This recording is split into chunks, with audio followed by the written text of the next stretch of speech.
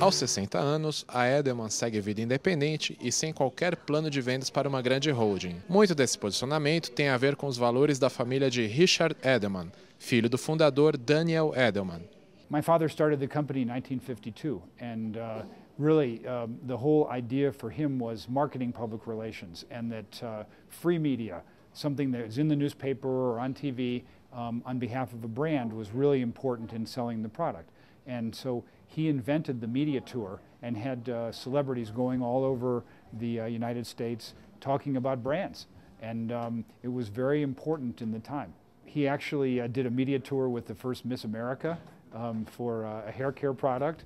Um, he uh, worked with Colonel Sanders and Kentucky Fried Chicken. Um, he worked with the founder of Sara Lee on frozen cakes.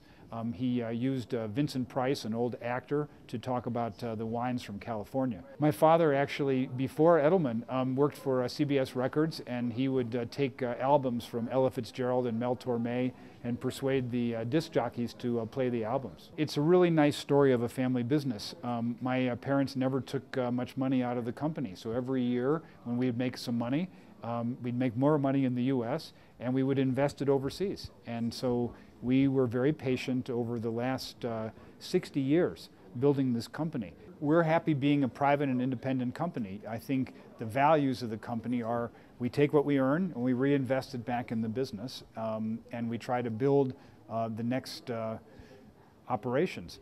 O Brasil e as empresas locais estão entre os principais focos estratégicos da Edelman, conforme explica Richard.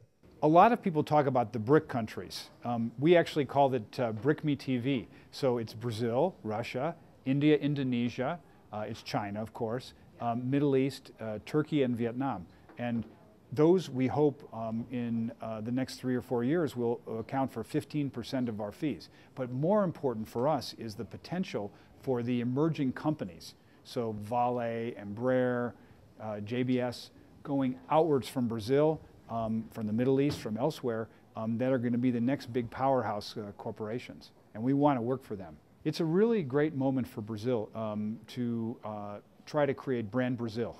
Um, if you think about um, right now, the top rated countries uh, in psychology of consumer are for German, for Canadian, American. Um, these are things that people say, oh, they're pro-eco or they're cool or they're um, you know, doing, doing the right thing on supply chain. And Brazil has this chance uh, with the big events, World Cup and uh, Olympics coming up, and also some of the companies coming into the global marketplace, uh, like Natura um, or Vale, where you can have uh, sustainability, you can have also uh, high qualified management and uh, good relations with your employees as the core values of the company.